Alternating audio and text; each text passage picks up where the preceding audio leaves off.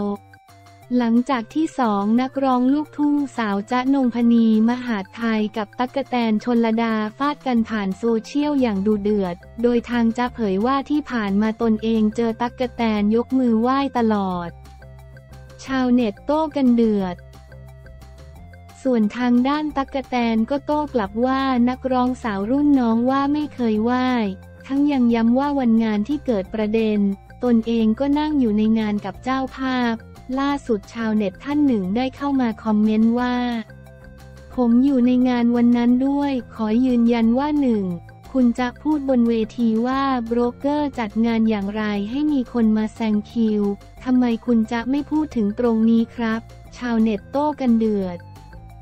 2. ทุกคนในงานยืนยันได้ว่าเห็นคุณจะนั่งอยู่กับเจ้าภาพ และคุณตักกะแตนนั่งอยู่ด้วยทำไมคุณจะบอกว่าไม่พบหน้าคุณตักกะแตนเลย ในงานและตอนนั้นคุณจะนั่งดื่มไวน์ด้วย คนเห็นกันทั้งงานเรื่องอื่นๆ ผมไม่ทราบแต่สอง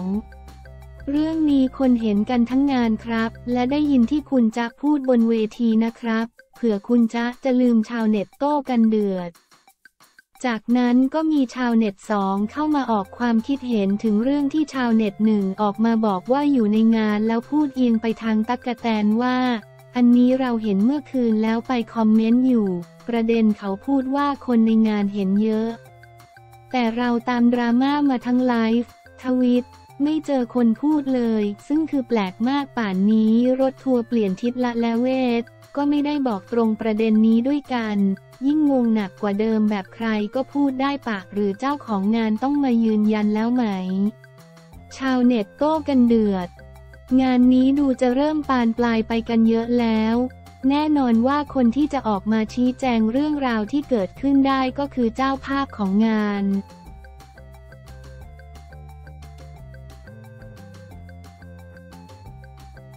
อดีตสสเพื่อไทยโพสต์เศร้าหลังพอทอเทก้าวไกลอาจารย์ดังหวังเป็นเพชรแท้ อดีตสสเพื่อไทยจังหวัดเชียงใหม่โพสต์เศร้าหลังพอทอประกาศตั้งรัฐบาล โดยไม่มีก้าวไกลอาจารย์ดังร่วมให้กำลังใจ หวังว่าจะเป็นเพชรแท้ต่อไปหลังพักเพื่อไทยประกาศตั้งรัฐบาลโดยไม่มีพักก้าวไกลโดยให้เหตุผลอ้างเรื่องการแก้ไขมาตรา 112 พร้อมจะไปจับขั้วกับพักการเมืองอื่น เพื่อตั้งรัฐบาล วันที่ 2 สิงหาคม 2566 นางสาวทัศนีบูรณุปกรณ์อดีตผู้สมัครสมาชิกสภาผู้แทนราษฎรจังหวัดเชียงใหม่พักเพื่อไทยโพสต์ข้อความผ่านทางเฟซบุ๊กทัศนี บูรณุปกรณ์โดยใช้พื้นหลังเป็นสีดำพร้อมเขียนข้อความว่าจุกอกโดยในโพสต์ดังกล่าว มีศาสตราจารย์ ดรเกษียณเตชะพีระคณะรัฐศาสตร์ มหาวิทยาลัยธรรมศาสตร์เข้ามาแสดงความคิดเห็นความว่าเป็นเรื่องน่าเสียใจและเสียดาย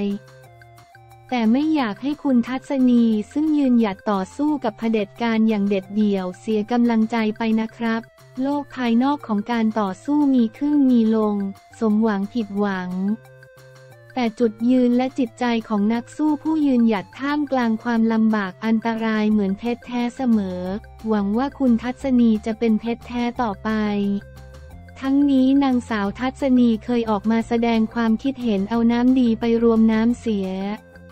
ไม่นานจะกลายเป็นน้ำเน่าเมื่อวันที่ 22 กรกฎาคมที่ผ่านมาหลังพักเพื่อไทยพูดคุยกับพักรัฐบาลเดิมทั้งภูมิใจไทย รวมไทยสร้างชาติ ชาติพัฒนากล้าทัศนีโพสต์เอาน้ำดีรวมน้ำเสียจะเป็นน้ำเน่า ขอพอทอจับมือ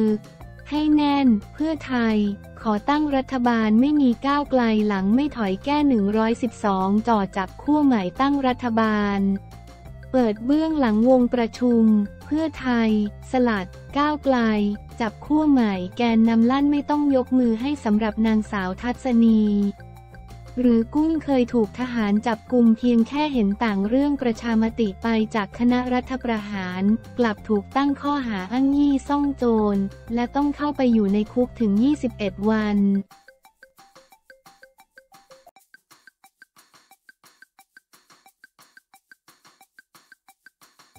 ปิยบุตรลั่นไม่มีอะไรที่ก้าวไกลต้องเสียใจชี้การเมืองไทยเปลี่ยนไปแล้วปิยบุตรลั่นไม่มีอะไรที่ก้าวไกลต้องเสียใจระบุต่อไปนี้คือการต่อสู้ระหว่างอดีตกับอนาคต ชี้ตั้งแต่วันที่ 14 พฤษภาคม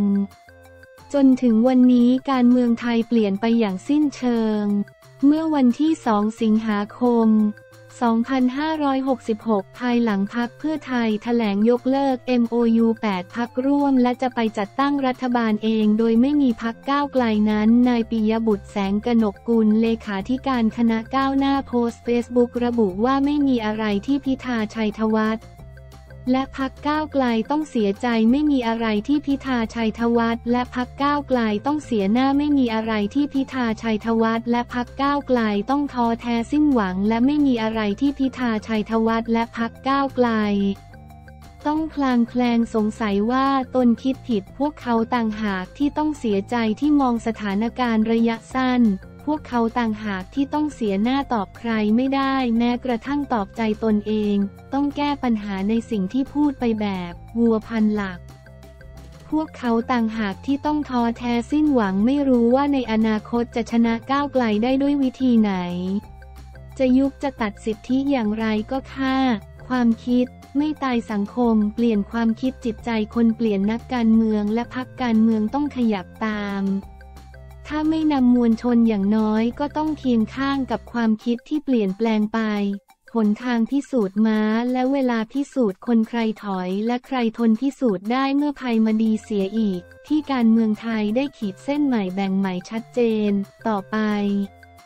ไม่ใช่สงครามสีเสื้อไม่ใช่การต่อสู้ระหว่างพัก แต่คือการต่อสู้ระหว่างอดีต vs อนาคต อดีตแบบทศวรรษ